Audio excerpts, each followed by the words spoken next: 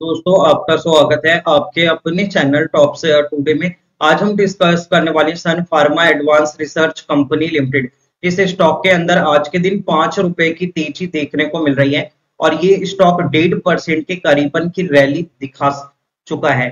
Stock current level पर दो रुपए पर ट्रेड कर रहा है। हम इस वीडियो के माध्यम से ये डिस्कस करेंगे कि इस स्टॉक के अंदर फ्यूचर में क्या टारगेट अचीव हो सकते हैं। और हमें स्टॉक लूज कहाँ पर ट्रेड करके रखना चाहिए।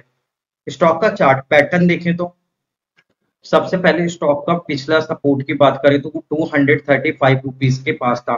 जो आप रेड कलर की ओरिजेंटल लाइन देख रहे हैं, वहाँ पर स्टॉक लगभग फोर टाइम सेम प्राइस को रिटेस्ट करने के बाद स्टॉक के अंदर एक बाउंस बैक देखने को मिल रहा था।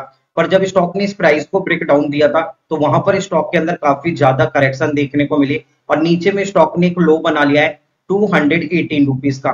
टू हंड्रेड एटीन रुपीज़ का इस पॉइंट पर स्टॉक ने एक लो बनाया और यहाँ से अब इस स्टॉक के अंदर निचले लेवल पर एक बाइंग देखने को मिल रही है। ऊपर में स्टॉक जब तक two hundred thirty five rupees के प्राइस को ब्रेकआउट नहीं देता, क्योंकि two hundred thirty five rupees stock के अंदर एक रुकावट रेंज अब बनता हुआ नज़र आएगा, क्योंकि स्टॉक का जो पिछला सपोर्ट लेवल था स्टॉक ने एक अहम सपोर्ट लेवल को ब्रेक डाउन दिया है।